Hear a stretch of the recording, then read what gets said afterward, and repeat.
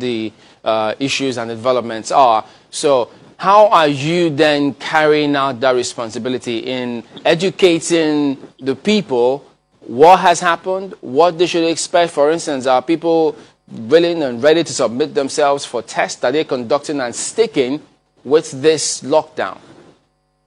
Mm, yes, everybody, most of the community are all aware uh, of what really happened. And uh, in fact, most of them are coming out willingly, telling us that they visited the house. They were among the people that went for the burial, and uh, we should tell them what next to do. And we educate them that some of them have to quarantine themselves in an isolated place for 14 days, while the NCDC people will be checking on them from time to time. They are all ready to cooperate. And that was why we were able to get such a huge number of about 78 within two days, because all of them are ready to cooperate. They are willingly submitting themselves for a checkup. With this lockdown comes the usual. I mean, people can't go to work. A lot of people can't conduct their businesses. So there's, a, there's an obvious need, an obvious shortfall. And I understand that there's been some form of palliatives, but the big you know, worry is the fact that this will not go around. In fact, the government said that this will not go around, and they mentioned some category of people. So the question is, what is the plan for others who, yeah, they might not be disabled, but yes, they have uh, some need at this point. Their businesses have been shut down. So is there any plan for palliatives? Because I understand that there's been a committee made up of religious leaders, you know, traditional rulers and all that. What is the plan for the people? Uh, yes, apart from the palliative the government gave, the people of the community I knew of uh, a club that uh, give about 2,000 household, uh, 2,000 people 10, 10,000 naira. And uh, the ODU of its own gave about uh, 12,000 bag of Semovita and rice, beans that will go around apart from what the government is giving. So we are fully ready because uh, this thing is worldwide. So we have educated a lot of the people in the town, and we have made all necessary uh, preparation within our own pulse, pulse to ameliorate the suffering of our people. There's also this challenge of, you know, misinformation. Uh, I mean, you've heard people trying different remedies, uh, local remedies, traditional remedies, just in, in, a bid to forestall the spread of COVID-19. So I'd like to know what kind of sensitization are you giving people? What are you telling them they should do, they should not do, especially as you get the advice from a medical team. So what are you telling people in that regard? What we tell them mostly is to try as much as possible to keep, keep social distance, washing of hands. You know, right from about uh, some three weeks or four weeks ago, the government has given us a lot of soaps and hand sanitizers that uh, mostly like every 30, 30 minutes, one, one hour, we should wash our hands, use our hand sanitizer and keep uh, social distance. And you know, of our being what we are, yeah, most of us here are educated and they, they, were, they were fully briefed on the need to keep social distance.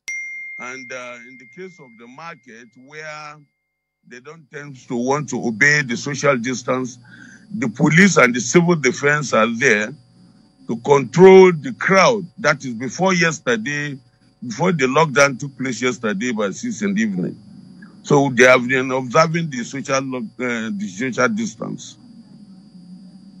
This uh, lockdown of, of a town will definitely come certain risks uh, that uh, may or may not have been uh, foreseen before now. Uh, from where you sit as the traditional ruler in that environment, what are the risks that you foresee that this lockdown may bring to the people and what are your own plans with or without government's um, uh, hand in it?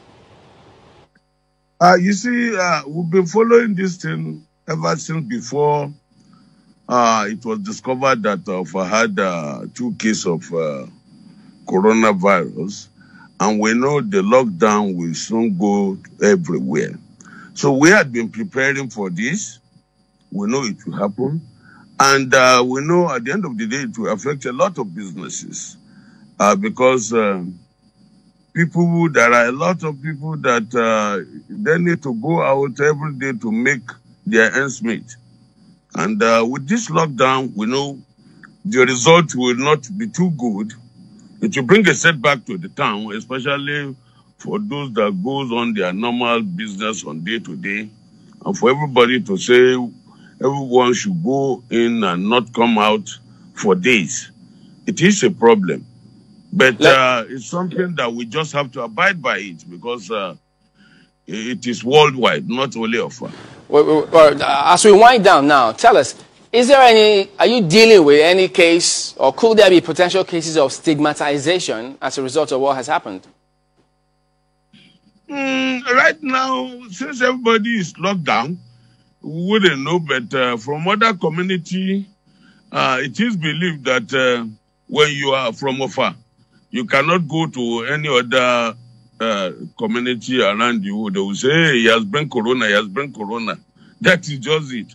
But uh, they are calling me and I'm trying to let them know that uh, because you are from Offa and you work in Offa, relocated to your village now because of the lockdown does not mean you have corona. So I'm speaking to their traditional rulers and they uh, complying and speaking to their people. A case like that happened uh, yesterday when in a community an Okada rider, because of the lockdown, an Okada rider has to relocate to, to his uh, town and they drove him out of the town that uh, he has corona because he's coming from Offa. All right, then. Uh, we do appreciate your time this morning, and we hope that uh, everyone will just uh, stay safe as much as they can, perhaps with your help as well. So uh, that was His Royal Highness uh, Muftar Gbadamosi, the Olofa Offa. Thank you very much indeed for your time this morning. Thank you. All right. So we're also trying.